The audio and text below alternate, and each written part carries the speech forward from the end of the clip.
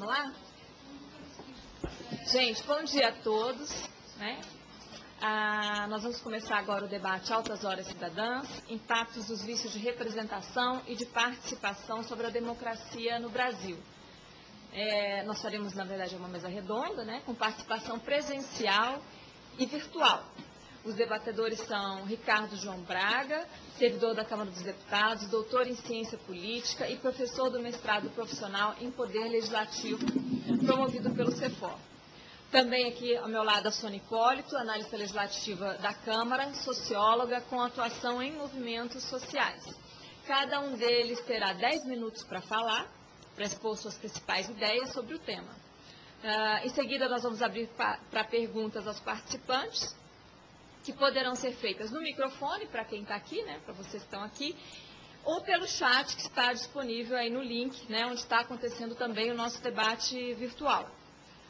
Uh, estão participando do debate presencialmente aqui no plenário, né, para que o pessoal também do debate virtual possa saber.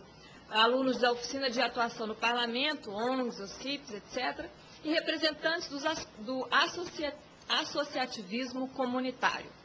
No debate virtual participam Sueli Maria Vaz, Sueli Mara Vaz, consultora legislativa da Câmara e professora de Legislação e Processo Político do curso de Ciência Política na UNB estudantes de ciência política da Universidade de Brasília, estudiosos dos temas legislativo e processo político, política e movimentos sociais no Brasil, história política do Brasil, representação política, elites e o poder. Eu sou Malena Rebai uh, e eu e o colega Gilson Dobin seremos mediadores deste encontro. Eu aqui, presencialmente, com uh, os debatedores e o Gilson logo ali atrás na web. Então, vamos começar, vamos abrir. A gente começa com o Ricardo João Braga, falando por 10 minutos. Bom dia a todos. Agradeço aqui a oportunidade de estar podendo conversar com vocês. Estendo esse, esse bom dia também ao pessoal virtual lá na UNB. Bom, a ideia dessa mesa é discutir aquilo que está sendo chamado de vícios de representação.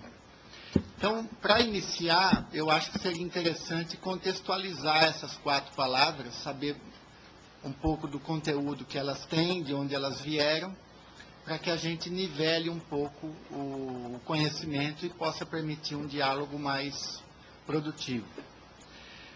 A ideia de patrimonialismo é, define uma relação entre os, os governantes e o Estado que é a ideia de que o, a, o mundo privado e o mundo público, para essas pessoas, elas se confundem. Aquilo que é do Estado também é do governante, aquilo que é, é público, na verdade, é do rei. Essa ideia ela veio para o Brasil por meio do Estado português, que é um Estado que se formou fortemente baseado nessa ideia de patrimonialismo. Para quem quiser ler mais e conhecer mais sobre isso, é, é, o grande debatedor disso aqui no Brasil, Raimundo Fauro, Raimundo Fauro, não sei exatamente como pronuncia o nome dele, deixar essa dúvida aqui online. Ele discute muito essa questão do patrimonialismo. Outra palavra que nós estamos trabalhando hoje é a ideia de clientelismo.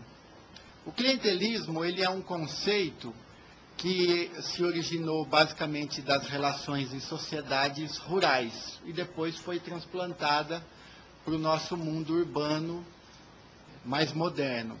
A ideia do clientelismo é que ele seja uma troca entre as pessoas, que não é uma troca simples é, e impessoal.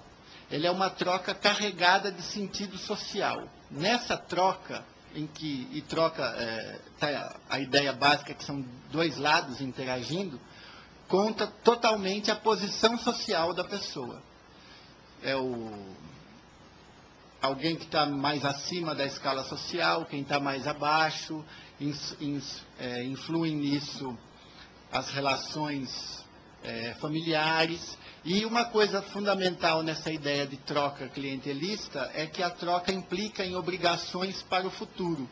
Você vem para a troca com uma base do seu passado, que é uma base pessoal, familiar, de relações é, na esfera da vida privada e da vida pública, e isso implica em compromissos para o futuro. É aquela ideia, eu te dou isso porque eu quero a sua lealdade. Lealdade é um compromisso com o futuro. O paternalismo é uma ideia de que cabe ao Estado zelar pelo hipossuficiente, pelo mais fraco, pelo ignorante que está do outro lado. Em certo sentido, eu acho que isso daí também é bastante brasileiro, é, algo que representa muito a nossa cultura, de que o Estado é explorador, de que o rico é explorador e o resto das pessoas são pobres explorados. Então, cabe ao Estado sempre ser paternal, cuidar. A, a ideia, a raiz da palavra é, é pater, que tem a ver com a posição do pai. Né? A outra palavra, a quarta aqui, que vai alimentar o nosso debate, é a palavra corporativismo. O corporativismo é uma ideia que, na, na, na, sua concepção mais básica, ela é muito antiga. É a ideia de que a sociedade ela configura um corpo em que as várias partes concorrem para o bem-estar do uno, da unidade. Isso daí está presente já desde concepções sociais lá em Roma, na Grécia, mas isso ganhou uma substância muito forte, muito dogmática, nos anos 30 na Europa, com os regimes fascistas principalmente, que transplantaram isso, que foi a forma transplantada para o Brasil. A ideia do corporativismo, no caso do, das nossas sociedades modernas, é que você organiza a sociedade a partir da posição que as pessoas têm no processo produtivo. Você tem patrões, você tem empregados, e nessa relação, o Estado funciona como um árbitro, como um organizador ele dá é, as regras de organização para esses grupos econômicos e, por conseguinte, dá a legitimidade a esses grupos. Hoje em dia se faz alguma distinção entre um corporativismo mais antigo e um corporativismo que ganhou outros adjetivos, tipo corporativismo societal, para dizer respeito à importância que o Estado tem nessa relação. O corporativismo clássico aí dos anos 30, do fascismo, que o Brasil adotou em boa medida naquela época, é um que o Estado é um ator central do processo, que realmente ele organiza e ele legitima esses interesses. Fora da, da permissão do Estado, não há nada, né? Já um, um corporativismo mais moderno, que hoje você vê em alguns países da Europa isso ocorrendo, o Estado já não tem esse papel tão forte de organizador, de legitimador, mas a sociedade ainda continua se organizando entre grupos é, de trabalhadores, grupos de proprietários do, do capital. No caso brasileiro, ainda a gente criou nos anos 30, anos 40, as bases desse corporativismo, com organização de trabalhadores e de, e de patrões, você tem as confederações de indústria, comércio, você tem os sindicatos que foram reconhecidos pelo, pelo Estado brasileiro nos anos 30, 40, e em boa medida isso persiste até hoje, na, é, em algumas partes da nossa sociedade, como por exemplo a justiça do trabalho. Ela ainda é uma justiça em que se concebe que o Estado é um árbitro das relações patrão-empregado e as relações é, patrão-empregado elas são tuteladas pela lei. Quando se fala em livre negociação, no caso brasileiro, isso é um pouco anacrônico para a nossa formação, porque se concebe que o Estado é uma parte integrante dessa relação. Então, essas são as quatro palavras. E por que, que elas são importantes para nós aqui hoje, que a gente está sob essa ideia de vício de representação? A ideia de vício de representação remete a que essas palavras sejam um problema. E por que, que existe o problema? Porque a gente olha para outras sociedades, tipo as sociedades anglo anglo-saxãs, Estados Unidos, Inglaterra, e lá você vê que a, a cultura ela é mais impessoal. E como esses países tiveram um desenvolvimento econômico muito relevante, a Inglaterra foi o império do século XVIII, XIX, Estados Unidos do século XX ainda é até hoje, a gente é, olha para esses países que são diferentes dessa configuração em boa medida e acha que o que nós temos aqui é um vício, é um problema que atrasa a nossa cultura política e nosso desenvolvimento econômico. Então, quando você coloca essas quatro palavras numa chave aí pejorativa, é porque você olha esse exemplo mais positivo em outra esfera. Contudo, essas quatro palavrinhas, fora o corporativismo, que é um pouco mais novo, elas são parte da nossa formação praticamente desde o início do Brasil. Boa parte delas foram herdadas, inclusive, de Portugal. E isso configura que o brasileiro é um tipo específico, não é único no mundo, mas ele é um tipo específico de cidadão. E aí, para quem quiser se aprofundar mais, né, as obras do Roberto da Mata, por exemplo, ajudam a entender quem é esse brasileiro, que é um cara relacional. Essa ideia que a gente falou do clientelismo, de que a relação entre as pessoas ela é muito cheia de significado, muito cheia de, de marcadores sociais, o Roberto da Mata mostra muito isso. É a cultura de você estar inserido numa rede de amizades, de apadrinhamento, de familiaridades, e assim você se coloca em qualquer situação. E tudo isso conduz para um problema básico de uma palavrinha que nós também gostamos muito hoje em dia, que é a ideia de cidadania. Por que, que isso tudo se choca com a cidadania?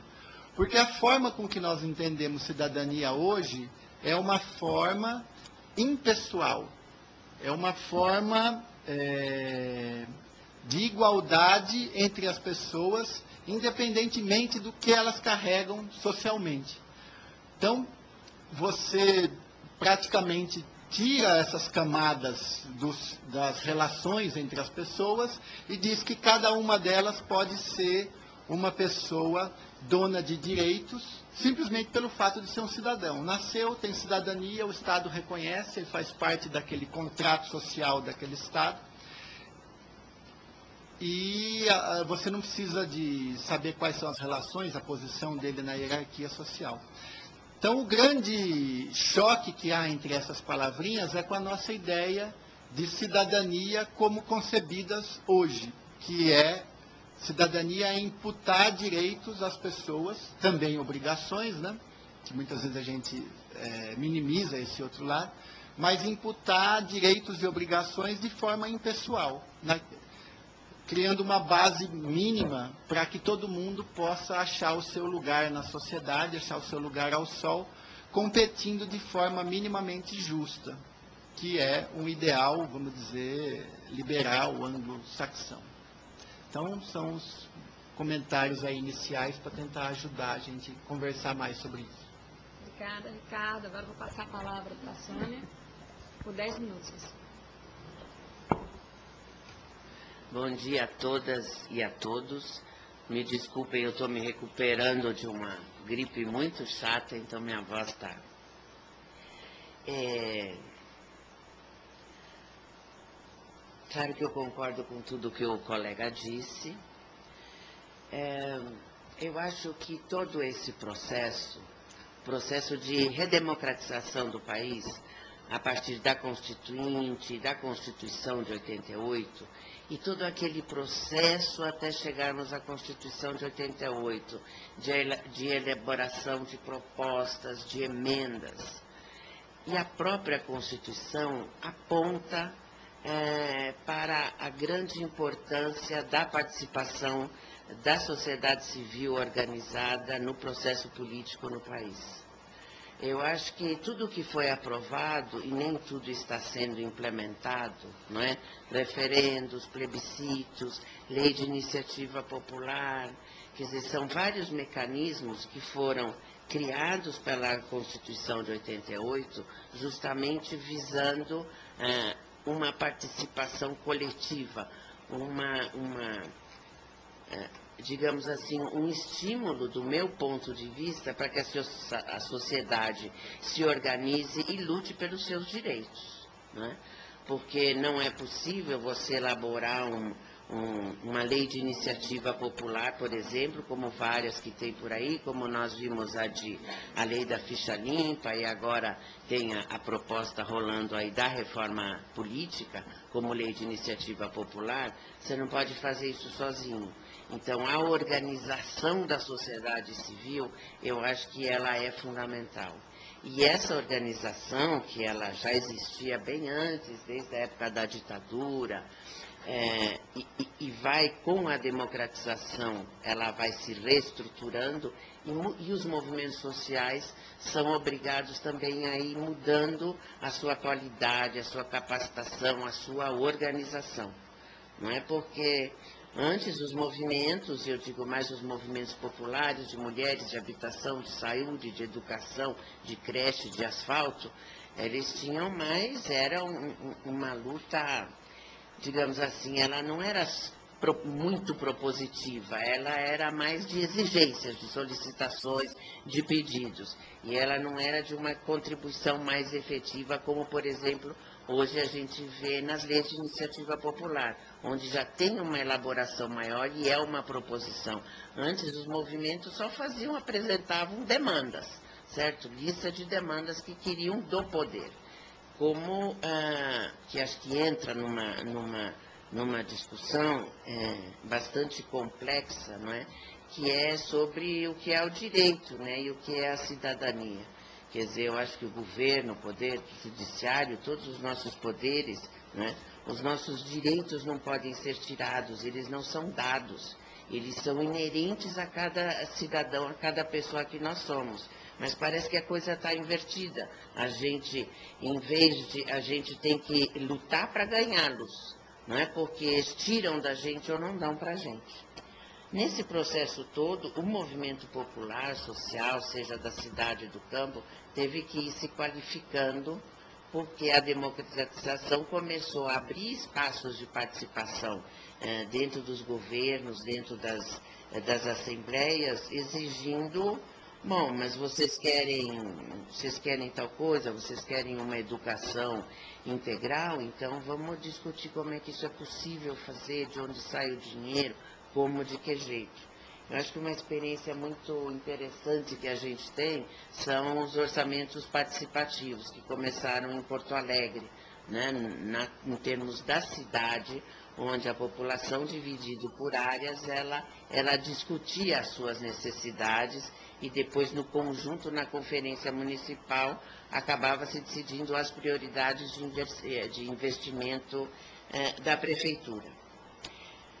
É, esse crescimento dos movimentos, a sua mudança de qualidade ao longo desses anos, foi, eu acho que aprofundou alguns problemas eh, que foram aqui colocados. Eu acho que talvez o que mais me preocupa é ah, o paternalismo. O paternalismo e o clientelismo. Que para os movimentos, é, eu acho que é a pior coisa que tem e é o que mais acontece. Né? Quer dizer, os movimentos é, têm que, e eu digo assim por experiência própria, eu acho que cada um de vocês tem que batalhar muito, eles têm que ser autônomos eles têm que ser autônomos de parlamentares, de prefeitos, de governadores, de partidos, eles têm que ser autônomos. Se eles não forem autônomos, eles já estão no caminho da cooptação. E daí, é, a organização, e essa organização, que eu digo, da sociedade, tem, claro, um objetivo, o aprofundamento da nossa democracia, para que realmente cada vez a população participe mais. Acho que a gente não deve pensar que que as eleições e que os nossos parlamentares em todos os níveis não nos representem. Nós não estamos contestando as eleições e a representatividade. Mas não é só isso. Eu acho que a, a democracia direta, a participação direta, se compõe com a democracia. Né? Eu digo isso porque eu trabalhei alguns anos na Comissão de Legislação Participativa, que vocês já falaram e vão ouvir hoje de novo, e a gente sente lá, é muito forte, tem muito parlamentar, tem muita gente que, que gostaria que aquilo acabasse. Quer dizer, eu já represento meu estado, meu município, minha categoria, e tá bom, vamos parar por aí, entendeu? Não vem esse pessoal inventar mais coisa, vem falar comigo que as coisas se resolvem. Então, eu acho que os movimentos têm um grande desafio, que é, é manter a sua autonomia, a sua legitimidade, a sua, o seu crescimento. E eu acho que isso não é fácil. Eu acho que é uma tarefa assim permanente. Eu já venho há, há dezenas de, de, dezenas de anos falando isso, né? Eu acho que tanto no movimento estudantil isso vale muito também. Eu acho que se a gente compara né, a atuação do movimento estudantil ao longo desses anos todos, a gente vê que tem, que tem um decréscimo da qualidade de intervenção dos estudantes. Hoje você pega os estudantes do NB ou de qualquer coisa, qual que é discussão? É a eleição da UNE, do DCE, do CA, não sei o que, é poder. Quer dizer, é uma inversão total é, do que quer que a gente realmente quer. Claro que a gente quer poder, mas vamos lá, o poder tem que ter conteúdo, o problema, o poder tem que ser o acúmulo, tem que ser uma vitória, tem que ser uma conquista, e não é o poder pelo poder, certo? Quer dizer, daí surge a cooptação, se você, né? Se você não, não cria uma, uma massa crítica com relação à atuação da sua organização, você é, você dá um passo atrás, você é, avança pouco. Né? Eu acho que, eu considero que a cooptação, o que, que eu chamo de, de cooptação, né? Eu vou contar rapidinho um caso que eu vivi, eu sou paulista na Prefeitura de São Paulo. A, deputada Luísa Erondina foi eleita prefeita, aquela festa na cidade, uma grande vitória. Beleza deputada Luiz Erondina, ligada aos movimentos sociais. Então, foi uma revolução. Eleição de diretor de escola, foi de tudo. E na área de habitação foram criados os, os mutirões, certo? De construção das casas, tal, autogestionárias. Fantástico. Mas aí, claro, como ela ela estava ligada aos movimentos, as lideranças dos movimentos também reivindicaram fazer parte do governo, certo? Justo? É, pode-se discutir uma montanha, mas várias lideranças do movimento de moradia popular de São Paulo, da União, da Central de Movimentos Populares, foram para o governo da Luísa, principalmente na, na Secretaria de Educação, na de Habitação, na da Saúde. Muito bem, vamos em frente. Parecia que estava tudo bem. Passou os quatro anos, perdemos as eleições. Ganha o excelentíssimo senhor Paulo Maluf, procurado pela Interpol. É, o seu Paulo Maluf imediatamente corta todas as verbas, suspende tudo dos mutirões. Certo? Para tudo, suspende, não tem conversa. E daí os movimentos. Né? As lideranças, não é que a Luísa quis ser cooptada, quis cooptar as lideranças, mas as lideranças, no momento que entraram na máquina de governo, se afastaram das suas bases. Cortou Olha, eu digo para vocês, demorou sete meses para a gente conseguir reorganizar essa base e fazer uma manifestação na frente do, do palácio para reivindicar a volta dos mutirões. Então, é, são desafios, são perguntas que eu deixo aqui. Quer dizer, claro que nós temos que participar. Nós não vamos ficar de fora, né, como um, um, um, um bando puro que não participa de nada não pode, nós temos que ajudar a construir, não só com ideia, com as situações. Mas eu acho assim, que a autonomia ela tem que ser preservada e nós temos, já deu 10 minutos, só para terminar, né? batalhar muito para construir essa, uma nova cultura né? política no país sobre a relação da cidadania, da construção da cidadania. Né? Quer dizer, quando você quando você quer uma creche para o seu filho, você não está pedindo um favor. Você não precisa bater na porta de um vereador para implorar para ele uma vaga na creche do bairro. Você tem o direito de ter. Você não pode se submeter a ele, daí você se compromete e vai votar não sei o quê. Quer dizer, infelizmente, eu acho que essa cultura ah, nós temos que derrubar, nós temos que vencer essa cultura, porque eh, senão a nossa situação fica difícil. Bom, aqui minhas primeiras ideias. Obrigada. Obrigada, Sônia. Nós vamos passar agora então para as perguntas e eu vou começar com uma pergunta de uma participante virtual, que é a professora Sueli. Ela pergunta se a posição do Ricardo é de que o Estado não deve dar atenção específica para os hipossuficientes ou, ou arbitrar relações patrão-empregado. É, obrigado pela pergunta, professora Sueli. É, acho que a primeira baliza para a gente pensar essas coisas é que o Estado, ele em boa medida é um agente civilizatório. Na sociedade que a gente vive hoje, o mercado não é um agente civilizatório no sentido de resguardar os direitos mínimos das pessoas. Isso daí cabe muito mais ao Estado como um equilíbrio entre política e mercado. Contudo, da forma que a pergunta foi colocada, ela remete a relações, vamos dizer assim, princípios gerais. E para esses princípios gerais eu não vejo uma solução única. Eu acho que essas questões elas precisam ser consubstanciadas aí na prática, porque ora aponta-se para um lado, ora se aponta para outro. Por exemplo, previdência social no Brasil. A Previdência Social no Brasil, para mim, hoje, ela tem uma boa dose de paternalismo, que precisaria ser mudada. Eu estou na contramão do que o governo atual vem pregando.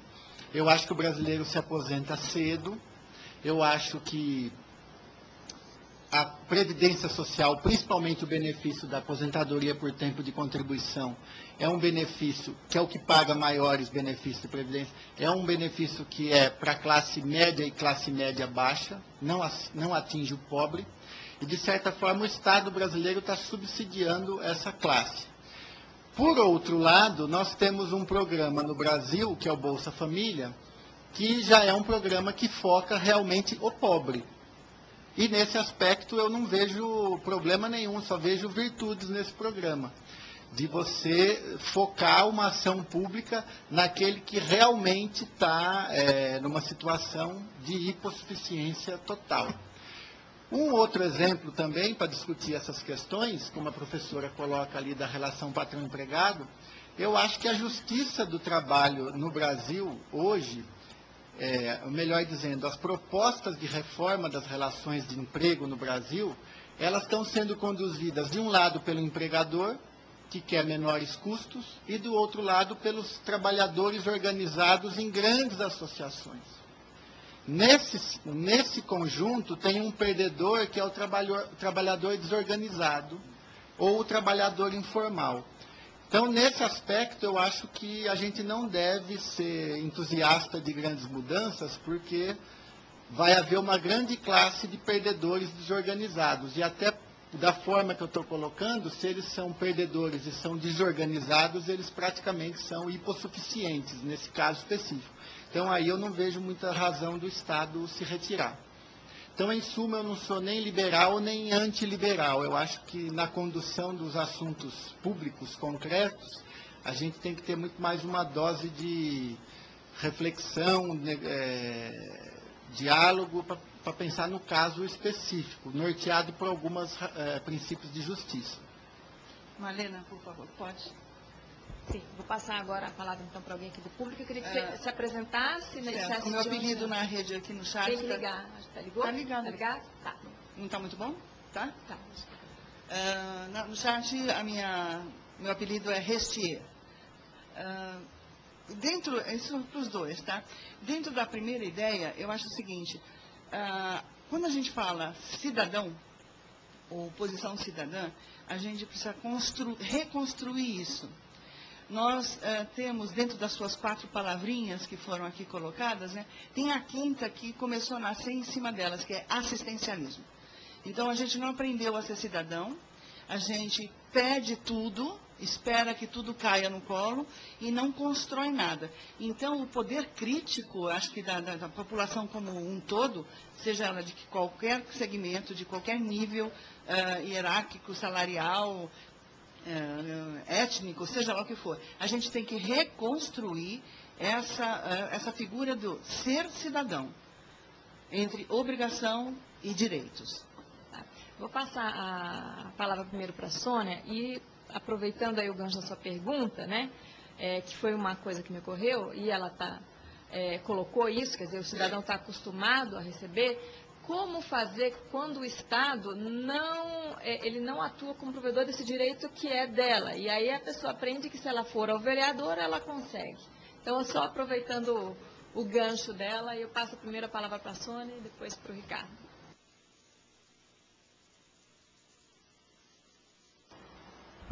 É complexo. Você tem razão, o assistencialismo, ele, né, ele é um um problema, mas também ele pode ser uma solução. Né? Eu acho que essa. Eu acho que você tem razão quando você diz a palavra cidadania, o cidadão, ela tem que ser mais trabalhada. E eu ligo isso um pouco com a questão, isso que você falou é mais também o que eu chamo de cultura. Não é? Quer dizer, a cultura política desse país nós temos que mudar de qualquer jeito. E de qualquer jeito, que eu digo, isso tem que ser nas escolas, nas ruas, nas famílias, entendeu? Quer dizer, que é o direito, que é o ser, que a pessoa passar a, a, a sabe, erguer a cabeça, não é? E não te cumprimentar com a cabeça é, abaixada como se você fosse superior, como se o outro fosse superior. Eu acho que o assistencialismo, eu queria não sei se você pensou nisso, mas podemos pensar nas cotas. Eu acho que é um outro ponto. É, eu, eu paro por aqui. Desculpe, Sônia. É, esse assistencialismo que você diz, para mim, é mais reconhecido como um benefício e não como um comportamento cidadão. Como assim? Quando a gente fala em cotas, né? Ah. Então, por não termos essa concepção de cidadão e de uh, ter direitos e obrigações, a gente é obrigado a, a usar o artifício das cotas para dar um direito que deveria ser normal uh, e constituído. Sim. Então é um benefício que eu não precisaria entregar para uma área política, ou seja lá o que for. Ela teria que estar. É inerente a esse tipo de, de, de ação. É, eu diria que cota é um mal necessário, né?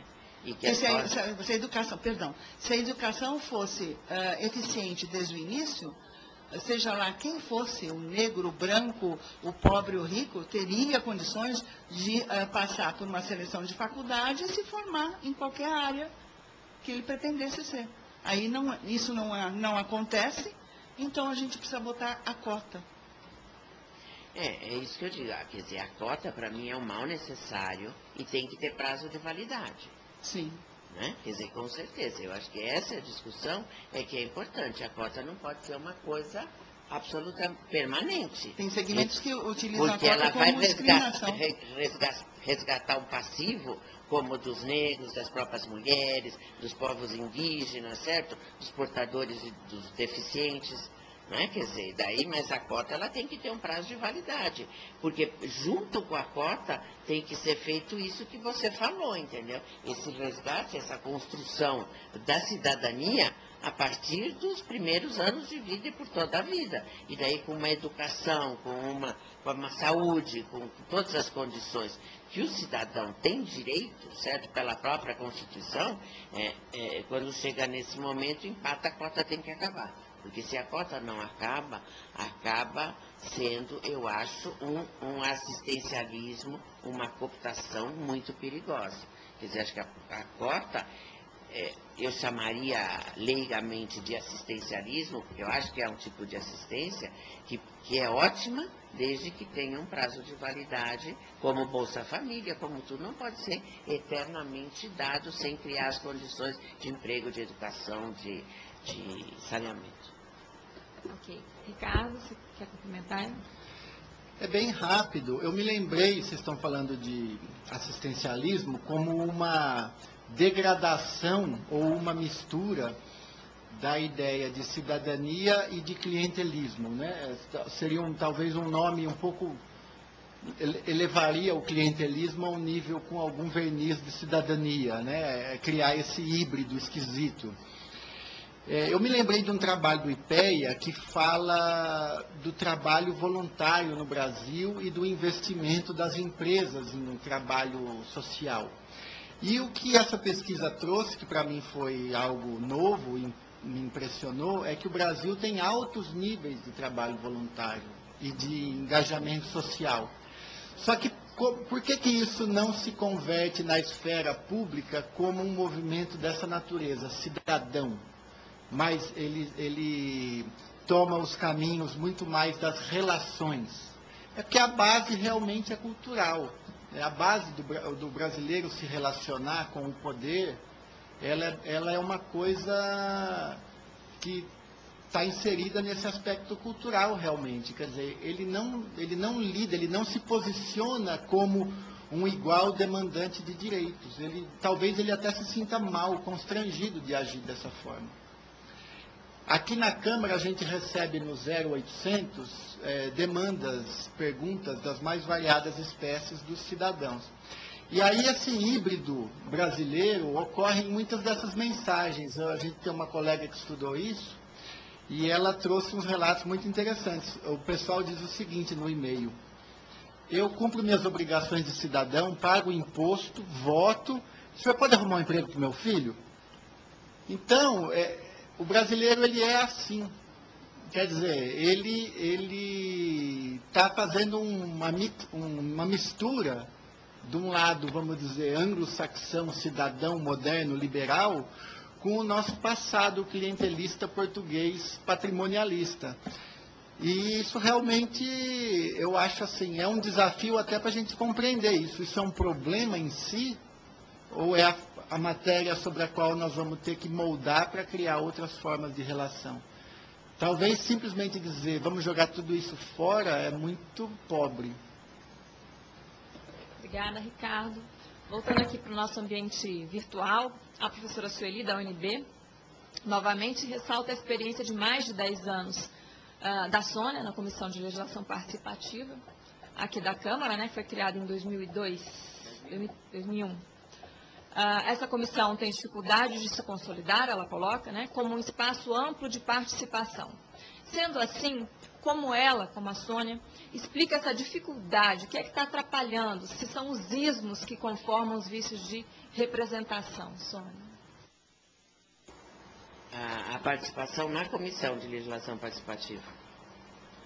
É, lá são vários fatores, né? Lá é, é só problema, mas acho que nós estamos vencendo.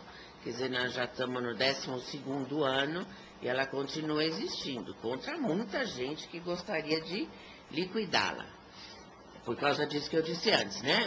Muito, muitos deputados acham que é antagônico, certo, a representação e a participação direta do cidadão, a democracia direta.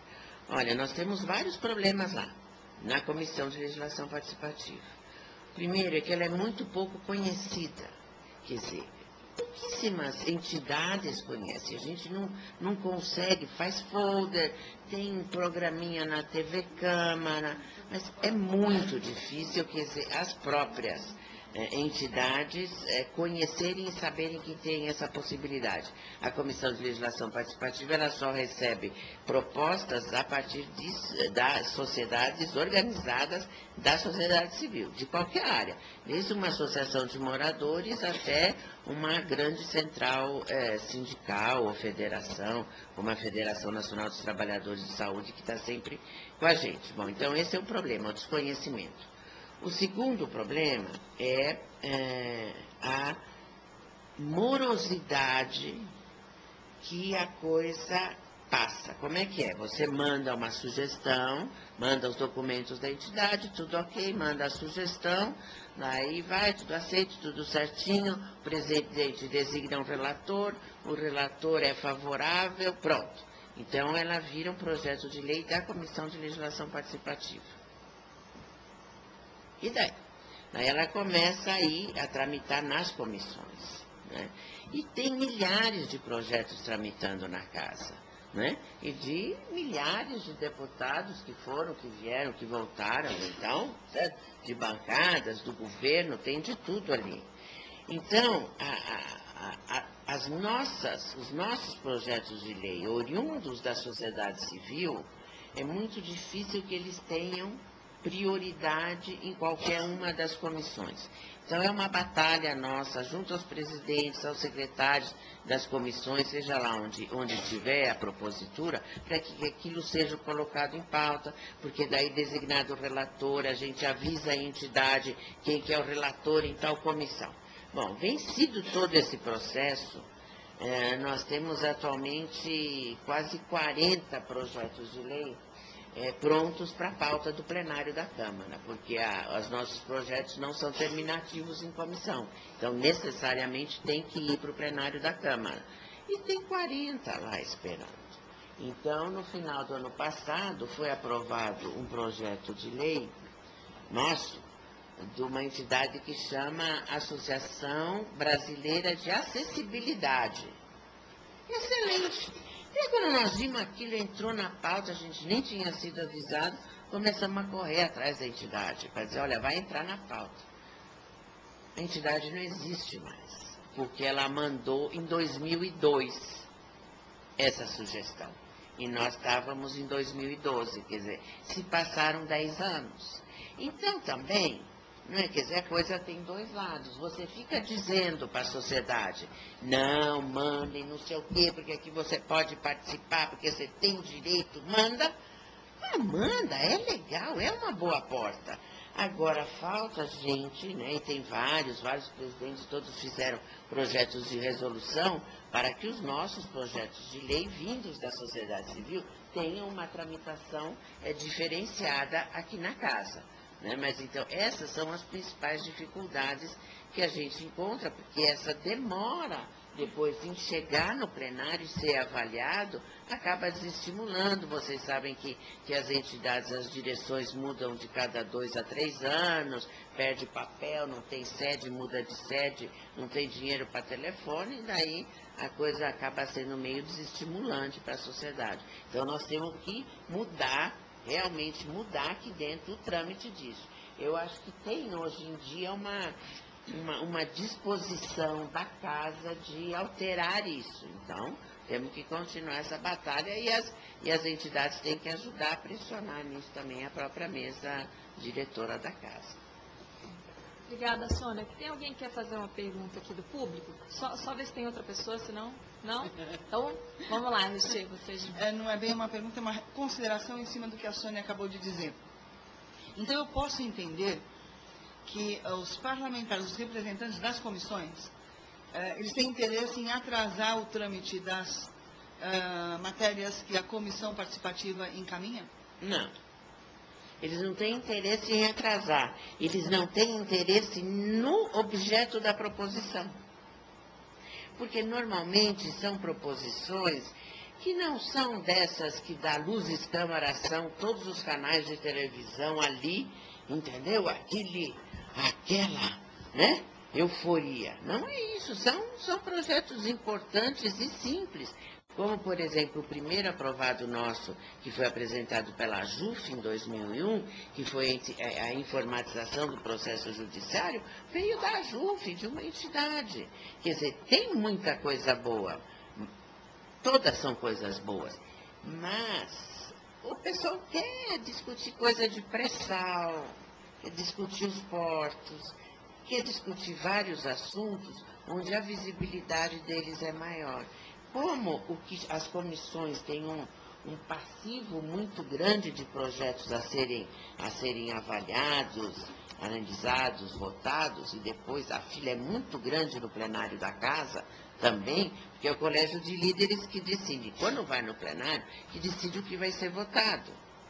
Então, daí é, um, é uma disputa muito difícil. Ou a gente tem, digamos, alguma cota né? Na verdade, nós estamos lutando por uma cota para a Comissão de Legislação Participativa, para a gente ter uma proposta, não é muito que a gente quer. Pelo menos assim, um projeto nosso a cada seis meses. Por exemplo, aí a gente garante que pelo menos dois por ano vão entrar na, no, no, plenário. Então, assim, não é que os deputados, é, eles não tentam segurar, é que não é do interesse deles, entendeu? Obrigada, Sônia. Agora, aqui voltando para o ambiente virtual, de novo, Thaís Frabete coloca uma pergunta que eu vou começar aqui com o Ricardo. Ah, ela pergunta, como o clientelismo presente no Brasil no século passado influencia nas relações entre Estado e população hoje? Thaís? Thaís, é, até o professor Vamir Chacon, eu tive aula com ele aí na UNB, não sei se ele ainda está dando aula, mas ele dizia que a cultura é o fenômeno social de mais lenta transformação. E a gente sabe que a cultura é reproduzida nas diversas instâncias que a pessoa vive. Então, extirpar um hábito cultural é algo meio complicado. Indo para algo um pouco mais científico da questão do clientelismo, a pergunta talvez que você pode colocar, não sei se era essa a sua ideia, é como que você mantém relações clientelistas nas nossas sociedades cada vez mais plurais, cada vez mais complexas, cada vez mais urbanizadas e cada vez mais explodindo em informação, né? E aí, eu acho que eu não saberia dizer exatamente como que esse fenômeno está se dando nas relações representante, representado, político e eleitor. Né? A gente vê alguns fenômenos, é, pessoas controlando determinadas comunidades, né, até com a ajuda de organizações criminosas, esse tipo de coisa, mas não sei se se encaixaria exatamente nisso. A ideia, eu acho, do clientelismo é que realmente é algo um pouco difuso dentro da cabeça das pessoas, que faz com que mais as pessoas esperem algo que venha do poderoso do que entendam que é obrigação desse cara agir independentemente de algo que ele vai receber em troca. Obrigada, Ricardo. Sônia, você quer falar alguma coisa sobre isso? Então vamos passar aqui para a próxima pergunta. A Angelina pergunta: o assistencialismo falado aqui não é sentido em um todo. Como dizer que o Estado é assistencialismo? Começo com você, Sônia. Você estava falando sobre isso, né? Vamos lá, Ricardo. Você de novo. Eu acho que essa aura de Estado assistencialista, ela se construiu muito em cima da experiência do governo PT. Não estou dizendo que o governo PT seja assistencialista, estou dizendo que a discussão se colocou dessa forma. O governo Fernando Henrique foi o governo das reformas, o governo é, liberal, o governo que, da privatização, obrigado. E isso, para alguns, foi muito bom. Eu acho que tem uma série de fatores positivos, mas para os detratores também foi algo péssimo, embora tenha trazido uma transformação aí para o Brasil. E da mesma forma, a política ela se constrói muito em cima de um diálogo com fins eminentemente eleitorais. A necessidade de justiça no debate político feita pelos políticos, ela é rara. É raro você encontrar. É uma, é uma, é uma posição de luta. Então, eu acho que essa ideia do Estado assistencialista se construiu como algo que se quis colar no governo do PT. Baseado em quê? Principalmente na, na experiência do Bolsa Família, que pegou uma série de programas dessa natureza do governo Fernando Henrique, Bolsa Gás, Bolsa Escola, Bolsa não sei o quê, e transformou no Bolsa Família e explodiu a quantidade de beneficiários. Mas eu acho que não faz jus à realidade, principalmente se você olhar que o Brasil tem um, uma massa de miseráveis enorme e que precisam ser minimamente atendidos, embora é, seja difícil que você pegue o cara numa situação de total desamparo e daqui a pouco ele vá se inserir no mercado moderno do século XXI como programador de computador, mas é, esse é, um, é, é uma coisa que o governo fez e, e deu os primeiros passos. Tem algumas coisinhas que me chamam a atenção, não como algo grande, mas como algo eleitoralmente é, perverso. Há uns tempos atrás eu ouvi que o governo estava com uma alta preocupação em diminuir imposto para tablets e smartphones. Um smartphone hoje, para você fazer ele funcionar na sua mão, ele vai custar mais de 100 reais. Um brasileiro médio trabalhador ganha em torno de 1.200, 1.500 reais. Aí ele e a patroa vão ter um smartphone, né? Cada um vai ter um. Eles vão consumir de 15 a 20% da renda familiar num smartphone e ele, coitado, mal ainda consegue utilizar para a vida dele as informações que ele acessa naquele smartphone. Então, eu acho que o governo dá esses deslizes também, não são pessoas é, mal informadas, é muito mais por um objetivo eleitoral. Então, acho que isso tem acontecido um pouco também, né? Você querer que a pessoa tenha certos é, confortos do nosso mundo do consumo, e principalmente do consumo simbólico, para fins eleitorais, mas que não atendem necessidades básicas das pessoas, pelo menos do meu ponto de vista, que alguém pode dizer que é autoritário, que quem sabe é o cara que quer o smartphone, né? mas é um ponto de vista. Sônia, você quer falar alguma coisa sobre isso? Ah, eu quero. Ricardo, olha, queria conversar com você. Eu estava pensando aqui, não é nada preparado. É, nós moramos aqui em Brasília. Né? Nós tivemos durante 16 anos o governo Roriz, certo? Que acho que é um exemplo um pouco para a gente é, ver. Quer dizer assim, a grosso modo, se diz que o governo Roriz foi um governo populista, certo?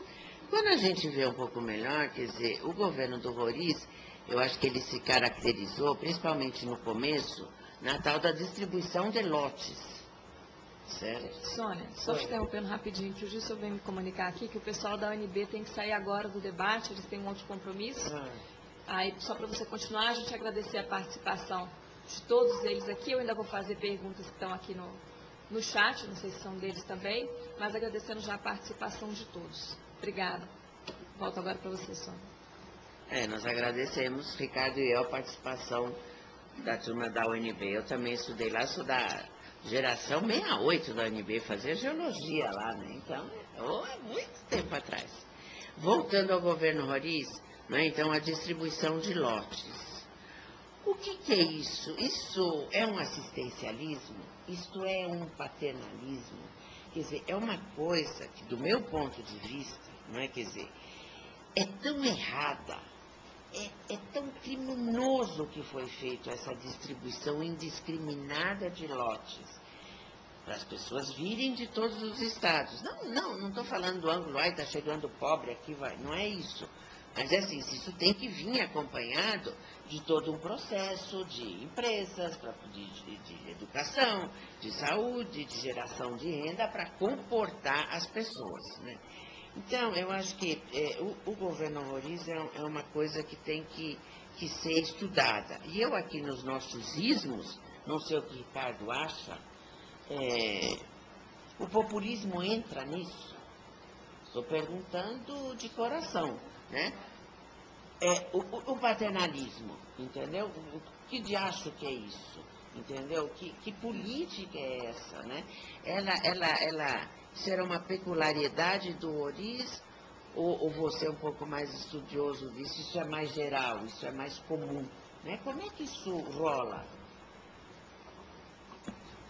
Bom, a, a ideia do populismo lá dos anos 50, início dos anos 60 no Brasil, é a ideia de um líder político que tem alguma capacidade boa de comunicação com as massas e que faz isso diretamente, sem intermediário de partidos, né?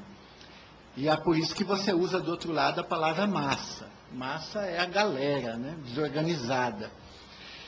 E isso, para o pensamento de esquerda, é um crime, porque o que você espera da massa é que ela se organize e faça se representar de acordo com a sua é, visão de mundo específica, que é o lugar que ela se encontra na, no modo de produção. Então, para alguns, o populismo ele é uma grande é, cooptação. Você pega as pessoas pelo lado que elas mais precisam e estabelece aquela comunicação direta. Eu político, vocês massa. E com isso essa, esse pessoal não se organiza e não evolui politicamente. É, eu não, não sou defensor do Roriz, mas um dia eu vi uma senhora na televisão dizendo uma coisa E aí a gente lê livro de ciência política, mas também a gente lê a Bíblia, lê livro de literatura e converso com a minha mãe, que não estudou ciência política, mas acho que ela tem certas sensibilidades, e a velhinha disse o seguinte, eu não tinha nada na vida, agora eu tenho um lote. Para aquela experiência específica, foi uma coisa revolucionária o que o Roriz fez na vida dela. E muito provavelmente, de onde ela veio, ela deve ser a primeira pessoa que tem um lote. Com, se ela tiver uma certidão ainda de propriedade, é mais fantástico ainda.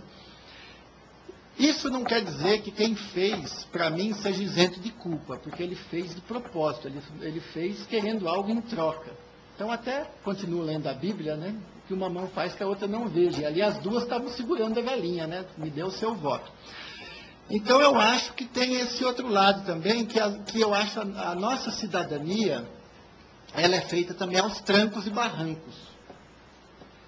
Então, é, essa é uma das dificuldades que a gente tem. A gente tem uma realidade, aí você dá uma chacoalhada nessa realidade por alguns interesses até muito complicados, como esse interesse do Roriz, mas de repente alguma coisa aconteceu.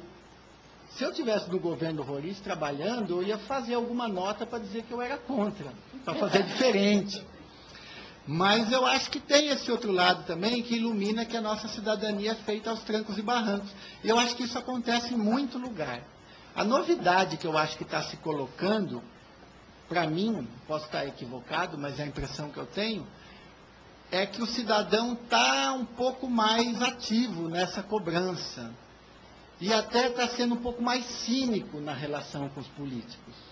A gente que trabalha aqui no Congresso, de vez em quando, vê que os políticos se ressentem do cinismo do eleitor.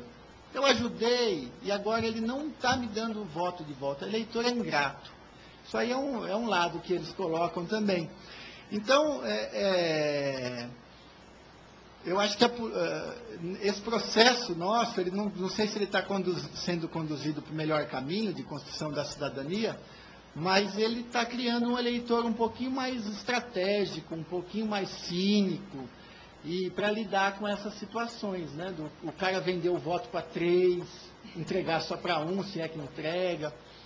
E quanto à última parte da sua, da sua colocação, se isso é geral, eu infelizmente acho que seja geral.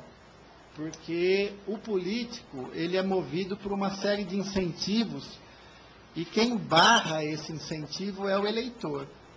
Então, o ser humano político, ele quer o mesmo resultado do, do Oiapoque ao Chuí. Ele quer agradar o eleitor e se eleger. Senão ele não entraria nessa, que é uma... Que, inclusive, a atividade política é muito desgastante, pessoalmente. Né? A gente vê aqui, é uma jornada cruel com os, os operadores disso aí. E quem faz a, o jogo dos incentivos é o eleitor. E eu acho que o eleitor do Brasil ele ainda é muito suscetível a, a isso. Ele ainda está.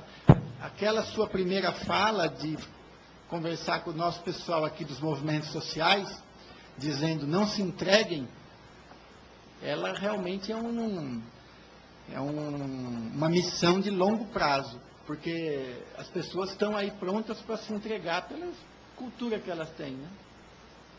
Espero que espero que tenha ajudado um pouco. Obrigada. Passar a palavra para o amigo ali. Você pode se apresentar? Meu nome é Walter, eu sou de São Paulo. Minha pergunta vai, vai para os dois. É, quando a gente fala, quando vocês estão falando aí desse essencialismo, essa questão dos lotes do Roriz aí, enfim, é, quando nós imaginamos a ação parlamentar, seja ela aqui na casa, ou nas assembleias legislativas, câmaras de vereadores, a gente se depara com a seguinte situação. Nós temos uma população, estou colocando no geral, evidentemente que tem pessoas que sabem discernir uma atuação do parlamentar ou do, do executivo. Né? E nós temos as pessoas que as, não é que vendem o voto, é que entendem que a ação política passa necessariamente por aquele vereador, ao invés de fazer leis, aquele deputado, ao invés de fazer leis, passe por asfaltar a rua da casa dela, passe por é, é, é, encaixar uma cadeira de roda, enfim, seja lá qual a necessidade específica daquele momento. Né? E, e esse parlamentar ele não consegue fazer chegar a essa população o que de fato ele tem que fazer. Ele vai lá promete hospital, mas ele não é ele que delibera sobre isso. Né? Eu gostaria que tanto a Sônia quanto o Ricardo fizesse um, um comentário sobre essa característica específica do eleitorado como seu candidato, seu representante. Obrigada. Nós voltamos àquela questão do início, né, Sônia? Como fazer quando ele só consegue resolver o cidadão recorrendo pontualmente, que é isso que ele estava. E aí o político se sente na, obriga... na obrigação de, de prometer, né, mais ou menos isso, para conseguir se eleger. Sônia. É, eu acho que. Como é que a gente vê isso, né? Como é que eu, eu pessoalmente vejo isso? Eu acho que é, tem dois lados, né? Quer dizer, tem os nossos, os nossos representantes, seja lá em que nível for, e tem a população, os eleitores, a relação com ele. É claro que a população, né? E a gente também é população e a gente sabe, a gente vive a comunidade, né? Quer dizer, você tem as suas necessidades, né? Ou individuais, né? Da creche, ou do asfaltamento da sua rua, ou do posto de saúde, ou da falta do, do pediatra lá. Algumas pessoas, onde tem associações de moradores, algumas coisas assim, tem uma visão um pouco mais, mais coletiva, pensando em, em ter uma área de lazer, uma área de esportes. E claro que quando candidatos, vamos a vereador, chega lá para fazer um comício ou visita de casa em casa, ele começa a ouvir as demandas. E o que ele faz? Ele começa a concordar, dizer que vai atender, certo? Então ele vai assumindo um rol de compromissos, ai, desculpa, um rol de compromissos que ele sabe que ele não pode cumprir. Mas que, por outro lado, ele também, se ele quer se eleger, ele não pode chegar assim, olha, o hospital não é comigo, a rua eu não asfalto. Não é? Quer dizer, daí ele fala, bom, ele também não vai chegar lá e falar assim, olha, não, o meu papel não é esse, porque eu sou um legislador, então eu vou estar lá para fazendo leis, para o executivo cumprir, para melhorar as condições de vocês. Então eu acho que é, os dois lados é, têm problemas. Eu, eu, conheço candidatos que fazem campanhas é, excelentes, né? quer dizer, é dizendo a verdade, não se elegem, né? não se elegem. Porque se você faz uma campanha direitinha, se você não compra voto, se você não promete coisa que você não vai fazer, se você não arruma dinheiro de empresas, associação comercial, não sei o quê, em taxa 2, você não se elege.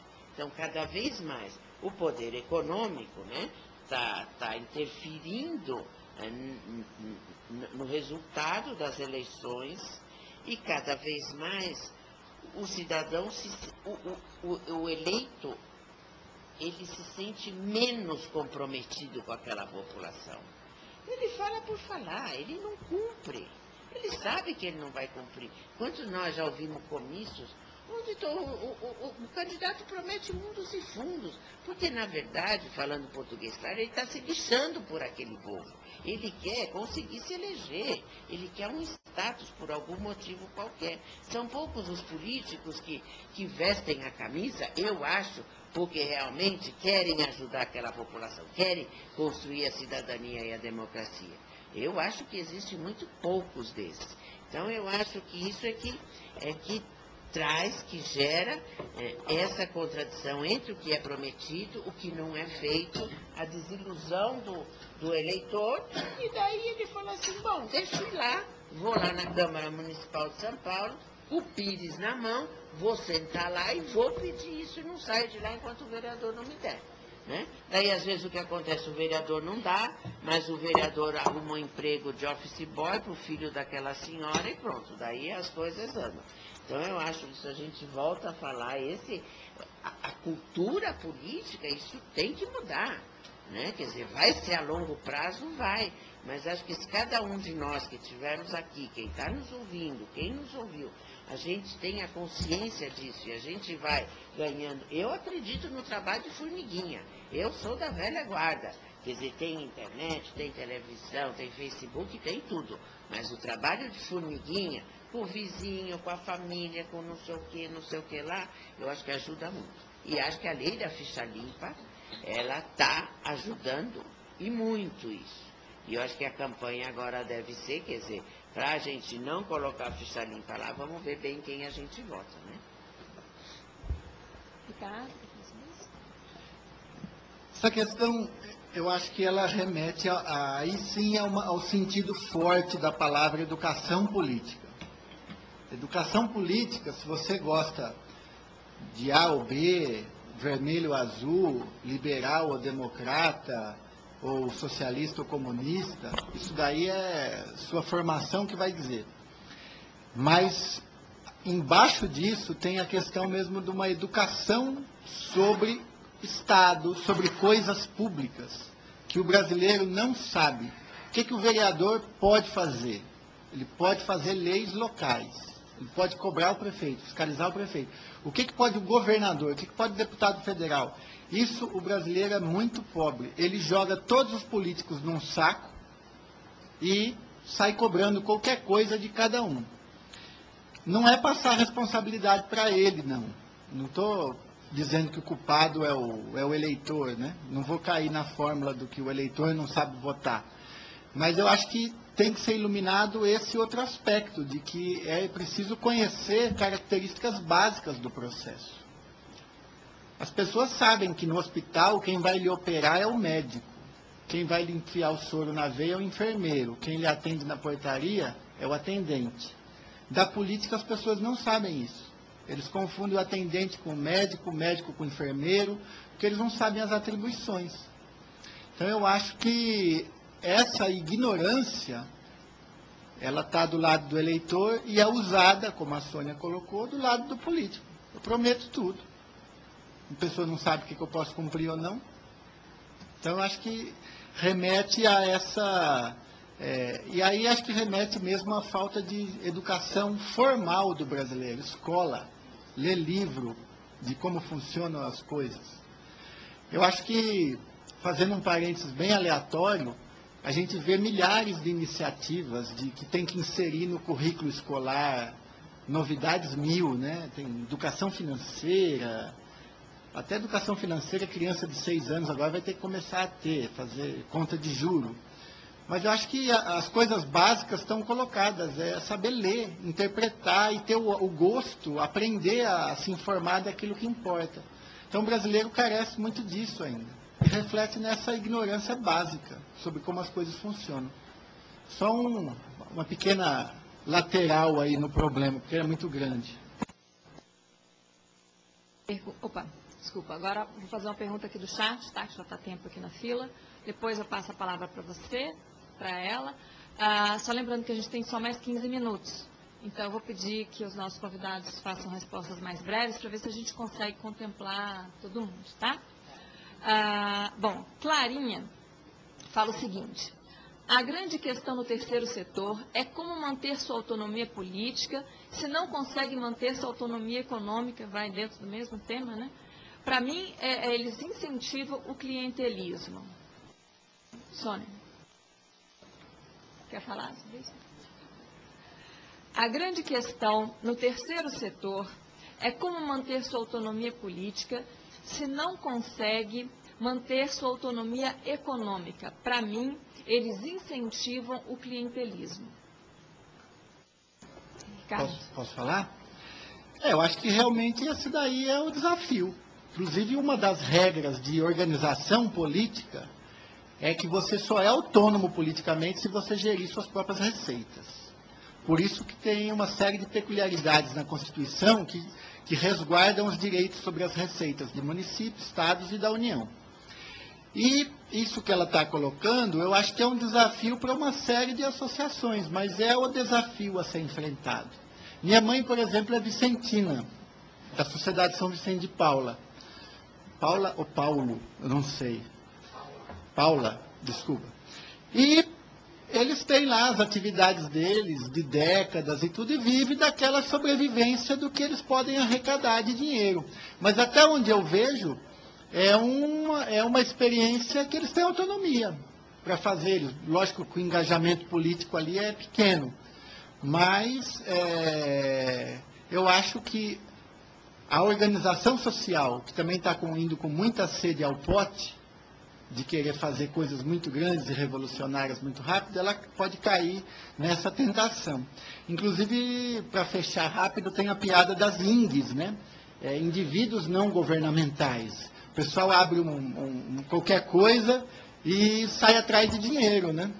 Quer dizer, isso também é um outro lado do, do setor aí, que talvez converse muito com o que a colega colocou na pergunta. Obrigada, Ricardo. Vou passar então a pergunta para a colega lá atrás, aí imediatamente você faz também, tá, Recheio? Duas de uma vez, aí fica mais rápido. Tá, ah, não tinha visto, desculpa. Então a de trás, depois a da frente ali, é. E aí terminamos com a Recheio, tá? Porque aí eles respondem as três de uma vez para a gente conseguir fazer tudo. Eu vou tentar sintetizar o meu raciocínio. Sou Maria Clara, do Rio de Janeiro, e eu queria colocar algumas questões. A primeira questão é que eu acho que, eu até fiz essa pergunta, mas ainda não chegou, é que o poder público, ele, na verdade, ele precisa é, capacitar o indivíduo a aprender a pescar. Eu não concordo com Bolsa Família, eu acho que isso é, não é uma questão cidadã.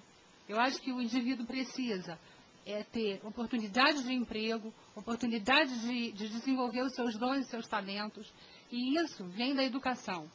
Nós temos uma educação de brincadeira, porque eu sou professora aposentada, onde os professores fingem que, que ensinam e os alunos fingem que aprendem. Nas escolas não se, não se ensina os alunos a pensarem, a serem críticos. Porque a partir do momento em que nós tivermos uma educação de qualidade, onde essas pessoas saiam formadas como cidadãs pensantes, eles não vão ser, é, ser conduzidos pelo poder público que quer manter o status quo. Porque, na verdade, o que acontece é isso. Nós queremos ter uma população que não pense para ela ser conduzida pelo status quo, o que está atualmente. Quanto menos pensante, menos crítico, quanto menos crítico, mais manipulado, e quanto mais manipulado, melhor para quem está no poder. É essa a visão que eu tenho. Então, que na verdade, nós só vamos ter um país de verdade quando investirmos em educação, quando, quando valorizarmos o educador que ganha um salário de fome, tá? é necessário dar aula em não sei quantas escolas para ter uma vida digna. Eu venho de uma família hipossuficiente, sou deficiente desde seis anos de idade, frequentei uma faculdade pública na década de 80, quando não tinha cotas, passei num concurso público quando não tinha reservas de vagas. Por quê? Eu sou diferente, eu sou especial, eu sou melhor do que as outras pessoas? Não me considero assim.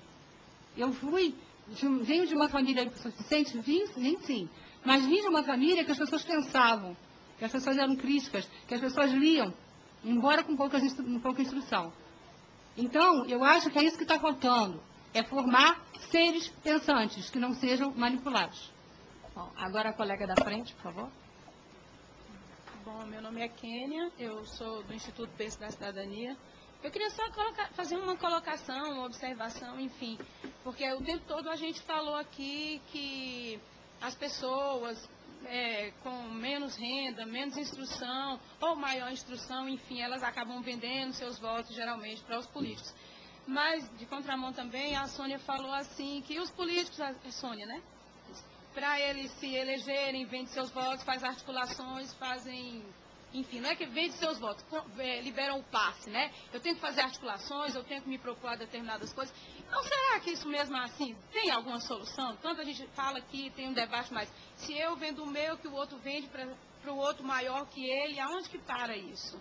Né? Fica um, uma, uma situação assim que às vezes a gente acha que só está lá embaixo, só está lá na, na população de massa, e lá em cima também ocorre a mesma situação, só que vendendo por montantes maiores, né? Não uma cadeira de roda, uma dentadura, um lote lá na casa do chapéu, como a gente viu aqui nas coisas do Roriz, né? Na política do Roriz.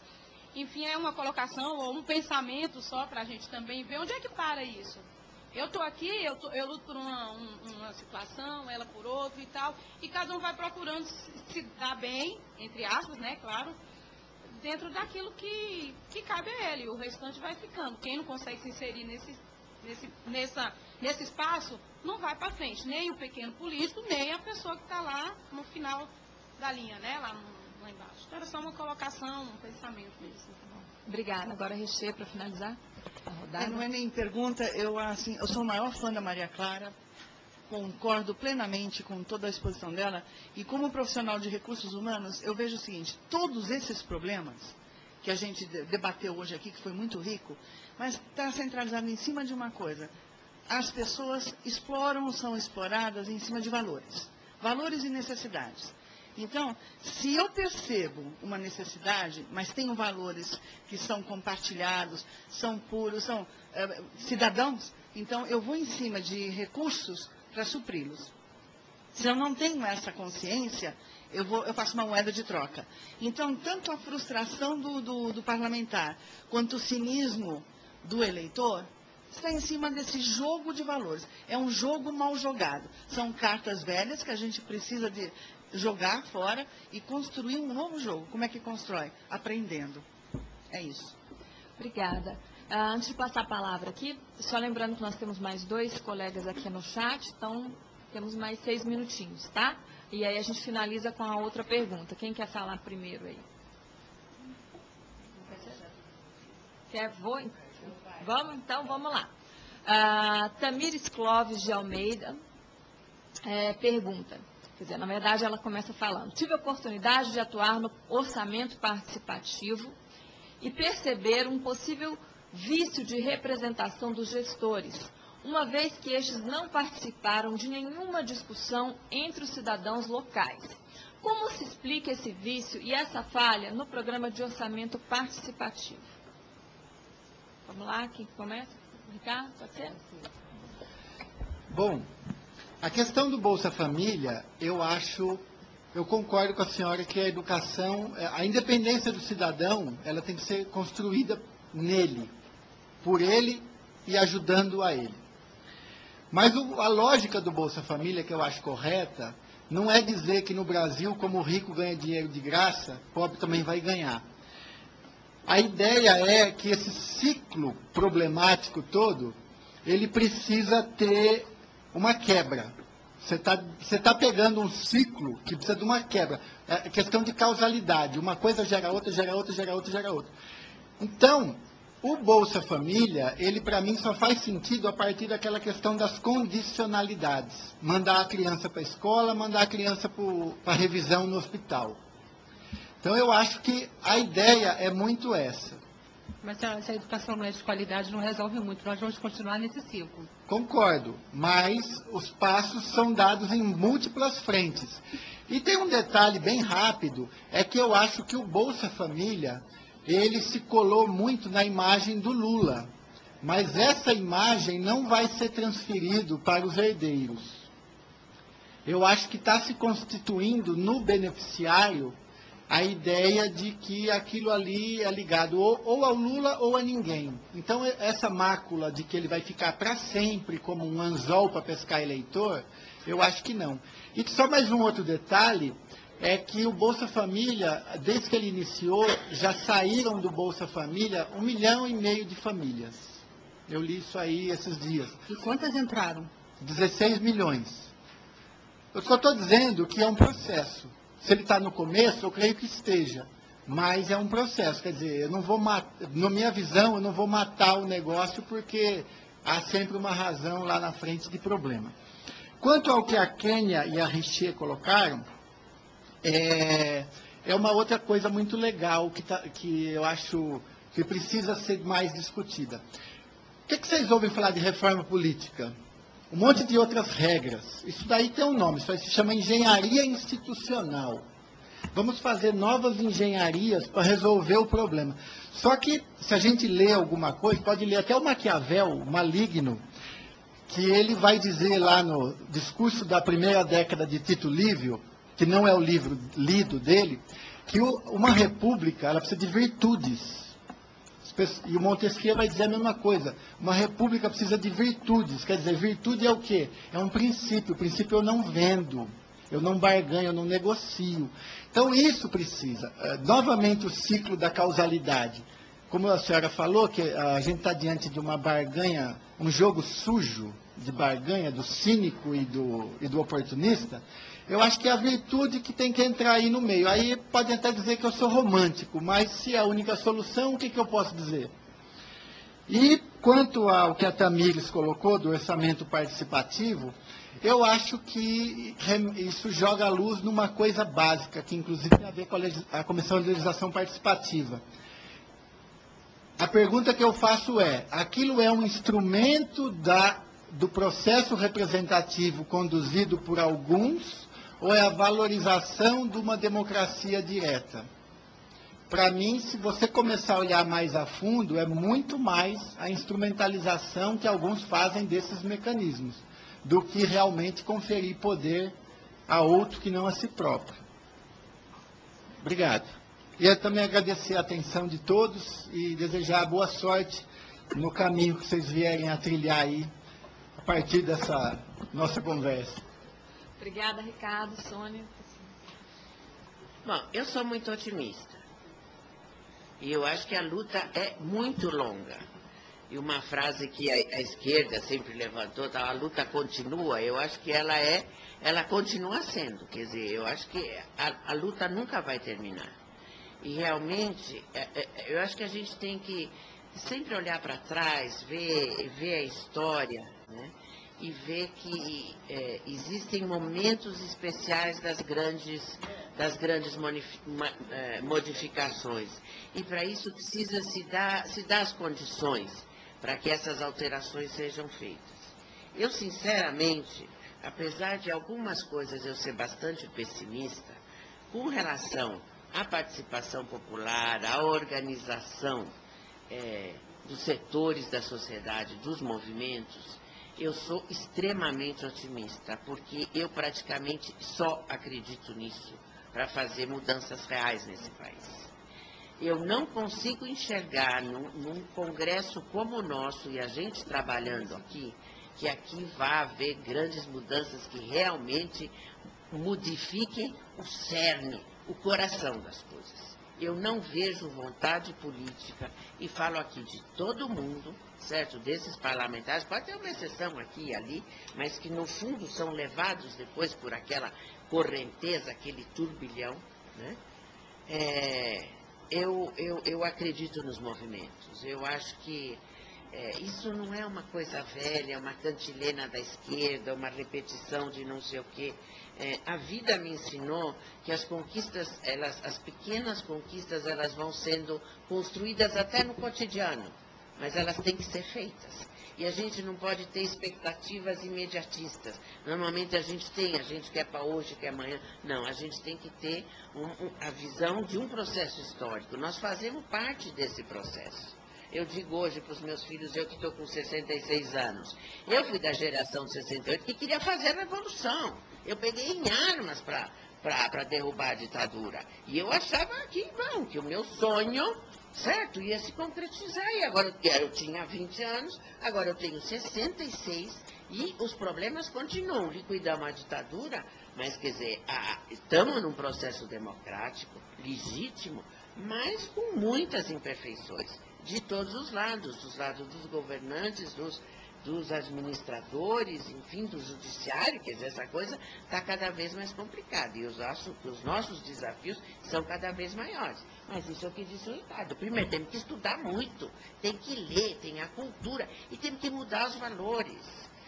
Não só a cultura, mas os valores. Não é possível a gente ter uma sociedade, ou parte da sociedade, independente da, da, da, da classe social, que se move a novelas Quer dizer, isso é muito triste, isso é muito lamentável. Quer dizer, nós temos que ter uma visão crítica dos meios de comunicação. Porque as TVs, essas grandes TVs e rádios e jornais faziam uma lavagem cerebral na cabeça da gente. E a gente tem que acreditar no que eles dizem, porque eles são os donos da verdade. O que eles dizem é a verdade. E repetem aquilo dia e noite na cabeça da gente. E a gente vai adquirindo outros valores de consumo. A gente quer consumir de qualquer jeito. A gente compra um carro em cinco anos, entendeu? Que quando acabar de comprar o carro, pagou três, e o carro já está escangalhado, e quando você vai vender certo? Você não, né? né? mas é esse estímulo ao consumismo, quer dizer, os meios de comunicação que não te dão em nenhuma maneira a possibilidade de você ter uma visão crítica sobre o que está acontecendo no país. Acho que as escolas, certo? Tem um papel fundamental nisso, a formação dos nossos professores é essencial, tem que mudar isso. Eu acho que iniciativas, quer dizer, já é a segunda turma que o CEFOR organiza, eu acho que a Câmara, com todos os seus limites, está se esforçando. Eu acho que tem vontade política de, de contribuir nisso certo? Quer dizer, acho que a própria direção, eu acho que muitos servidores têm essa vontade, se sentem como servidores, não está só aqui fazendo o seu papel, e eu pessoalmente sempre me coloco à disposição, né? quer dizer, nos seus movimentos, se vocês quiserem alguma ajuda, que eu vá lá, o mínimo que eu posso contribuir, eu acho que esse é o papel de cada um de nós. E eu acho que assim aqui a gente vai, aos poucos, é, transformando. É, é, esse mundo que a gente tem que transformar para realmente consolidar uma democracia efetivamente popular, democrática e para todos. Obrigada, Sônia. É, infelizmente, em debate geralmente é assim, né? Quando ele começa a esquentar, a gente tem que terminar. Mas eu estou sabendo que vocês têm uma atividade, né? Então a gente tem que encerrar. Queria agradecer muitíssimo, primeiramente, os debatedores, Ricardo, Braga, Sônia Hipólito. Muito obrigada por vocês terem vindo aqui de manhã.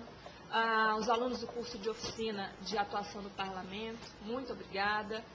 É, Instituto de Ciência Política da UNB, especialmente a professora Marilde Loyola e Caroline Vitor, coordenadores do Politeia. A equipe do E-Democracia, né, que ajudou, facilitou, incentivou o debate todo na parte virtual.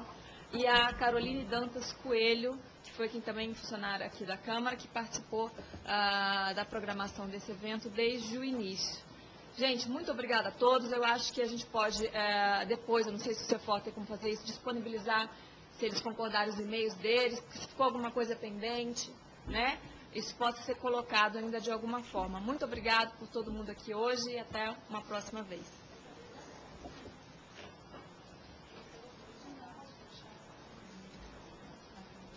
Eu não ajudo o movimento social.